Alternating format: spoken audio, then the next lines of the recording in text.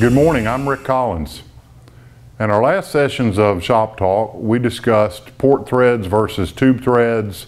We discussed uh, distinguishing characteristics, the differences between one thread uh, and another.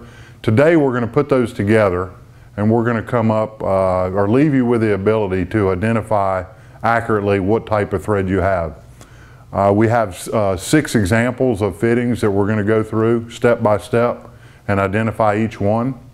Uh, in order to identify threads, uh, you need an identification kit. They're commonly referred to as a metric identification kit, but that's not necessarily accurate because you can identify standard or imperial dimension threads with the kit. Here we have a basically an angle finder. It's going to tell you the degree of the flare.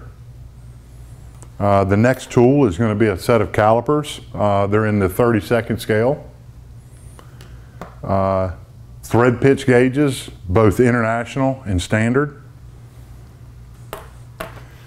You're going to have the book that helps put everything together. Uh, there's several pages in here that are very key to identifying threads. And finally, the shadow board. And the shadow board would be used for threads that are measured nominally. And we'll get into nominal measurements shortly. So with that said, let's go ahead and get started on our first fitting. If you remember from our first uh, session of Shop Talk, we talked about uh, port threads and tapered threads uh, and ways to easily identify what you have. Well, if you'll notice here, we have an O-ring. Immediately that tells us that we have a port thread and it, it's parallel. Parallel threads seal on an O-ring, port threads often have O-rings. So first thing we're going to do is get the major outside diameter, the major outside dimension. You don't want to get that this way because you're actually going to come up with a slightly smaller measurement. You want to get the largest measurement you can get from the largest portion of the outside of the threads. In this case, we come up with one and a sixteenth. I realize that's very hard to see, but we have one and a sixteenth. And the next thing we're going to do is we're going to find the thread pitch gauge that fits in closely. Uh, let's start with a 16. If you see here, the 16 doesn't quite fit, but it's close. So let's go to a 14.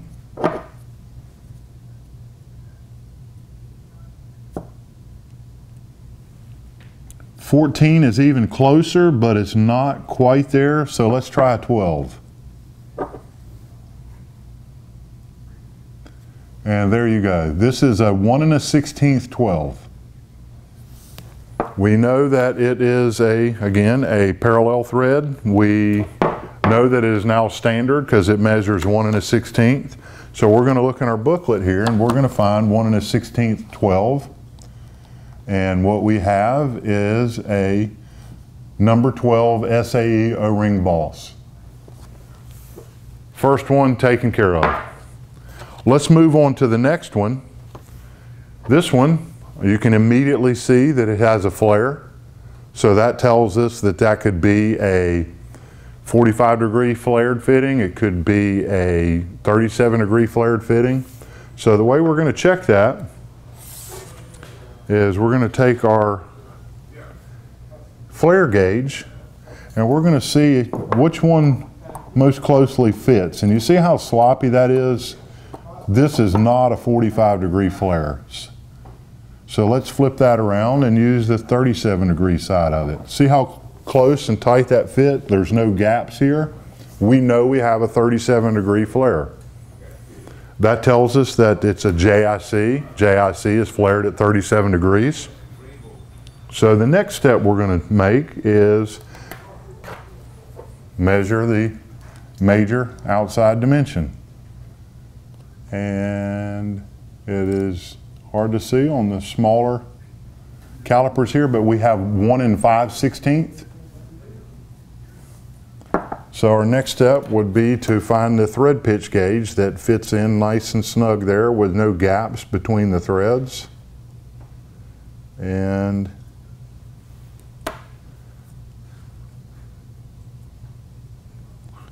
let's try the number 12 again. So what we come up with here is 1 and 5 sixteenths 12. Again, it's a 37 degree flare. So we're going to look in our chart here. We're going to find the 37 degree flared fitting. That is 1 and a 5 1 and 5 sixteenths 12. And that equates to a number 16 JIC. So we've identified that thread successfully. Here we have a, uh, a brass fitting. Uh, it is indeed a flared fitting. We're going to take the angle finder there, 45 degree, fits nice and snug. There's no spaces, no gaps. We have a 45 degree flare. Next step would be measure the major outside dimension. And in this case, we come up with a one and a 16th. And then of course the next step is to find the thread pitch gauge that fits nice and snug.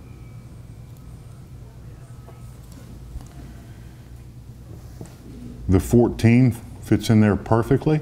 No spaces, no gaps. And we go back to our chart. We look into the 45 degree flared fittings. And what we come up with is 1 and a 16th dash 14 is a number 12, uh, 45 degree flared fitting. All right, so let's move on to the next thread. In this case, we can see that it is a parallel thread. Uh, we're able to do that uh, pretty easily. There's no taper. Uh, also, one of the distinguishing characteristics of this uh, thread is there, it's a soft seal or an O-ring. It is encapsulated inside of a steel washer. BSPP is the type of thread that, that uses this seal. So we know it's a BSPP thread. On BSPP threads, the best way to measure those is to use the shadow board.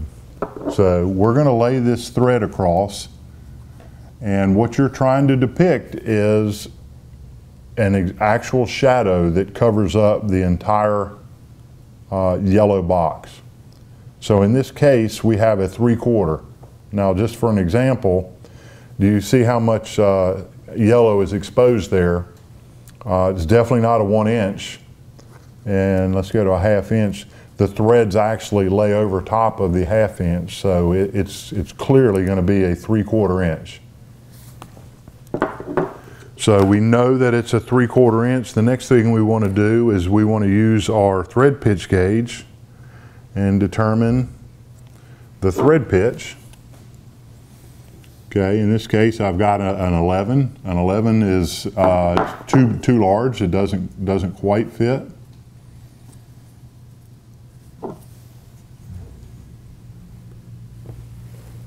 Here we have a 14 and the 14 fits nice and snug. So in this case, we have a three quarter 14 BSPP.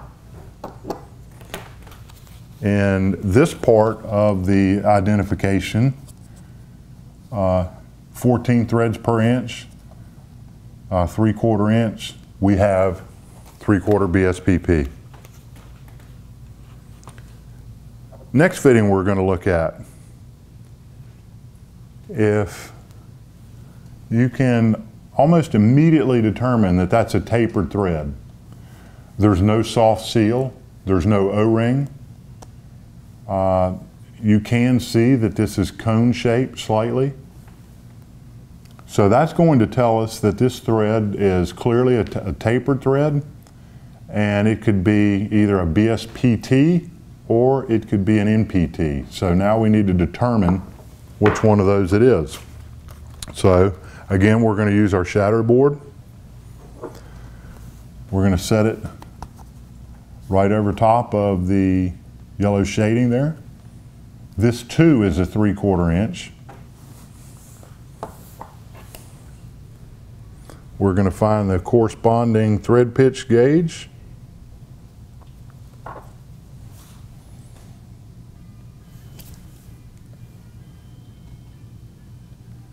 And the 14 fits perfectly. So we have a 3 quarter 14, which equates to a 3 quarter inch NPT, National Pipe Thread. The final fitting that we're going to go through today is a, is a metric fitting. And I've chosen this, this fitting intentionally because every thread that we've uh, discussed to this point is using a thread pitch gauge that is threads per inch.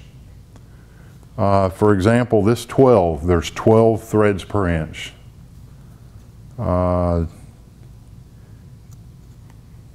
14, 14 threads per inch. The metrics, they identify or they, they call out the space between the threads. And the metric system, in many ways, is so much easier. Uh, in this case, there's three options for a metric thread. It's going to be 2.0, 1.5, and 1.0. Again, that is the distance between each thread, the crest of each thread. So the first thing we're going to do is measure the outside diameter, major outside diameter. And I come up with exactly 26 millimeters. Again, that's a little bit easier. Uh, we like the one and a 16th and one and five sixteenths. The metric system in many ways is, again, so much easier. And we have three uh, pitch finders, uh, for lack of a better term to try to see which one fits the best. So we'll start with a 2.0. 2.0 is, is, is, very sloppy, it doesn't quite fit. Go to a 1.5. 1.5 fits nice and snug. So we have a M metric 26 millimeter by 1.5. We go to our chart here we find an M26 by 1.5, and that equates to an 18 millimeter metric. With that, I hope we've given you a good foundation to build from uh, in identifying uh, threads. Uh, again, the most important tools for identifying threads are going to be our identification kit. You're going to find those at uh, just about any hose and fitting shop, and you'll find those at tool houses. Uh, appreciate your time today. Look forward to talking with you on our next session of Shop Talk.